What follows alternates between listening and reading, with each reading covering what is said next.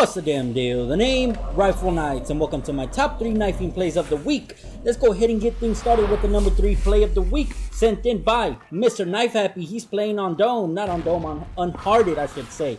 He gets killed by this dude. He spawns. He rolls up and he know he's over there. So what does he do? Goes for a bank shot. Bam! Kills the same dude.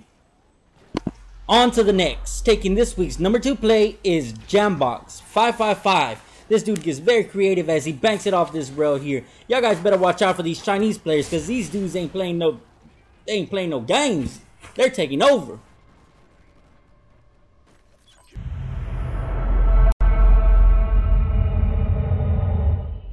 Taking this week's number one play of the week is Ink Scalp. Man, you can see what he's about to do. He's setting up shop, getting lined up with that plate up there.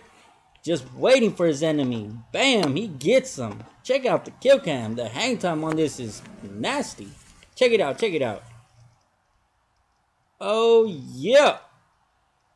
Get you some, son. Last but not least, multi-cod play of the week. Yes, sir, I do it all here. Modern Warfare Black Ops 2, World at War, whatever you got, send it in. This week's multi-cod play of the week is taken by QSD with this five-man on-screen on Search and Destroy.